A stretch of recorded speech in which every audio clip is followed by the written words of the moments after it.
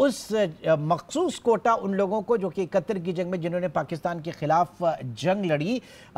खुद बांग्लादेश की प्रोग्रेस जो है वो कितनी कॉम्प्रोमाइज हुई? इस मुआशी मीशत क्या कहती है इस तरह के निज़ाम को लेकर? डॉक्टर साहब? ये जो बहरान इस वक्त बांग्लादेश ने फेस किया है, इसका बर रास्त मीशत से ताल्लुक़ नहीं है। अलबत् वहाँ भी बेरोज़गारी है। और अफराद ज़र का दबाव है लेकिन ये नया नहीं है मुस्तकिल रहता है। आ, लेकिन बेरोज़गारी जो है उसको फोकस किया गया कोटा सिस्टम पे सिस्टम पे चूँकि बांग्लादेश बनने के बाद उन्होंने जो जो उनकी जंग आज़ादी में जो उनके शहीद हुए थे उनकी फैमिलीज़ के लिए उनके बच्चों के लिए कोटा रखा गया था। अब ये पचास साल के बाद भी कोटा बरकरार था तो इसी पे एहतजाज था। मीशत पे तो जो कर्फ्यू लगा, बंद हुआ जो अम, अमलाक को नुकसान पहुँचा, वो तो अपना नुकसान है, लेकिन बांग्लादेश की मीशत ऐसा नहीं है कि वो एक एशियन टाइगर था और अब नहीं है। एशियन टाइगर पहले भी नहीं था। नस्बता अच्छी परफॉर्मेंस थी वो अगर अमन आ गया और उन्होंने अपने सियासी मसाइल हल कर दिए तो वो वापस अपने ट्रैक पे आ जाए अच्छा अब तो सूरत आप समझते हैं कि वहाँ पर अब नॉर्मल हो जाएगी नॉर्मलाइजेशन की तरफ़ आ जाएँगे और ये सवालिया निशान नहीं खड़ा हुआ, वहाँ पर गवर्नेंस के हवाले से और फिर दूसरा ये कि दीगर ममालिक क्योंकि पाकिस्तान में भी अब ये बहस छिड़ गई है कोटा सिस्टम के खिलाफ बिलखसूस सिंध की अगर हम बात करें तो यहाँ देही और शहरी जो तफरीक है कोटा सिस्टम के हवाले से सवाल अब उसके ऊपर उठ रहे हैं बहस शुरू हो गई है इसके ऊपर भी बांग्लादेश की इकोनॉमी पे क्या होगा ये तो नहीं कह सकते क्योंकि हम यहाँ हमारे पास कोई बहुत आदाद शुमार आते नहीं हम इसको फॉलो नहीं करते हम्म। लेकिन जो सिंध की आपने बात की पाकिस्तान की जो कोटा सिस्टम है बात यह है कि हर मुल्क के जो सिचुएशन होती है, वो मुख्तलिफ़ होती है। बांग्लादेश की जो कोटा सिस्टम था, वो बहुत मुख्तलिफ़ था, सिंध के हवाले से। और कोटा सिस्टम के दो इश्यूज़ होते हैं कोटा क्यों लगाए जाते हैं? एफिशिएंसी का तकाजा ये है कि कोटा ना लगे, सिर्फ़ मेरिट पे हो। हम्म। लेकिन एफिशिएंसी के साथ रियासत के जो पॉलिसी होती है उसमें एक्विटी भी होता है यानी जो मसावत और माशी इंसाफ का आंसर भी होता है। तो कोटा इसीलिए लगाए जाते हैं। अमेरिका में भी है कोटा अमेरिका में उसको आ, कुछ और नाम से कहते हैं। आ, लेकिन वहाँ भी है आ, कोटा यहाँ पर जो है आ, जो कोटा जिस वक्त लगाया गया लेकिन शहरी शहरी वो के लिए और दही लोगों के लिए दोनों का जो कोटे का निज़ाम है वो काफ़ी डिस्टॉर्ट हो गया है आ, अगर कोटा था शहरों का शहरियों का और दही इलाकों का तो उस कोटे में मेरिट होना चाहिए था हम्म।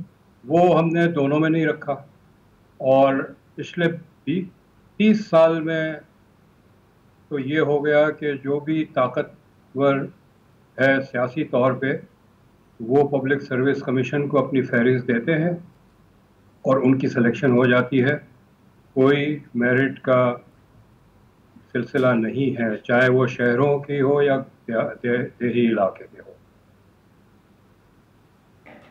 ठीक। अच्छा इसमें एक वाज फ़र्क जो है नुमाया वो सिंध में ही क्यों होता है? क्या पाकिस्तान में और जगहों पे भी तो होगा ना सर कोटा बिल्कुल होगा। आ, ये सिंध में एक नुमाया फ़र्क क्यों हमेशा जेर बहस आता है? ये पार्टीशन का नतीजा है क्योंकि जब पाकिस्तान बना और तकसीम हुआ तो जो हिंदुस्तान से जो मुसलमान हिजरत करके आए वो सारे कराची में आके बसे। कुछ हैदराबाद में थे लेकिन वास्ट मेजॉरिटी कराची में थे। तो वो Karachi versus rest of Sindh का जो डिफरेंस है वो आज भी मौजूद है। और हम जो इकोनॉमिक एनालिसिस करते हैं किसी भी चीज़ की एनालिसिस कर रहे हो चाहे वो चाहे वो तालीम की हो सेहत की हो इंडस्ट्रियलाइजेशन की हो या हाउसिंग की हो तो हम उसको हम कराची और वर्सेस रेस्ट ऑफ़ सिंध को देखते हैं। क्योंकि तो ये फ़र्क है ये फ़र्क और जगह नहीं है। मतलब लाहौर और, और लाहौर के जो दूसरे इलाके हैं वो फ़र्क नहीं है जो कराची और रेस्ट ऑफ़ कराची का है। इसलिए सिंध में ये मसला पैदा हुआ है। नहीं तो इसकी जो तफरीक है वो सियासी कहेंगे लसानी कहेंगे निज़ामी कहेंगे थोड़ा सा इसको हमें बताइएगा। और फिर दूसरा ये कि दोनों चीज़ों में कराची का जो मामला सबसे पहले मरदमशुमारी जो है वो ही आपके सामने है फिर ऐसे में कोटा सिस्टम। तो ये आप आप किस तरह से देखते हैं इन, दोनों मामला को? मरदमशुमारी तो एक अलग इशू है। वो अगर कराची को शिकायत है तो बाकी सिंध को भी शिकायत है। बलूचिस्तान को भी शिकायत है। हम्म। तो ये एक अलग इशू है। लेकिन जो कोटा सिस्टम है वो ये है कि ये दोनों कराची कराची का ऐसा है कि जब करा आज जब कोटा सिस्टम लगाया गया था 1950 के पूरी तिहाई में कराची के जो बाशिंदे थे वो मेजॉरिटी उर्दू स्पीकिंग थे। हाँ। और तो ये उसका एक लिंग्विस्टिक या लसानी लसानी एंगल था जिस आपने जिसका अभी ज़िक्र भी किया लेकिन कराची का डेमोग्राफी बदल चुकी है और उर्दू स्पीकिंग पॉपुलेशन इस वक्त माइनॉरिटी में है चालीस फ़ीसद से भी कम है कुछ हिसाब से पैंतीस फ़ीसद है हम्म। तो अब अगर हम कराची को मतलब वो कोटा बढ़ाना चाहे, करना चाहे।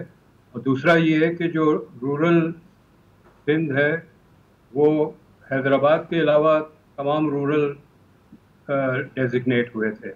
लेकिन लारकाना जैसे बहुत बड़ा शहर बन गया है तो अगर अर्बन की डेफिनेशन ही रीडिफाइन करें, सिर्फ़ कोटा सिस्टम रखें और अर्बन की डेफिनेशन रीडिफाइन कर लें तो उसमें लारकाना भी शामिल हो जाएगा। ये, ये चीज़ें डिस्टॉर्ट हो चुकी है बहुत हमारे यहाँ। इसको सिर्फ़ इस एंगल से नहीं देखना है कि कोटा सिस्टम होना चाहिए नहीं होना चाहिए।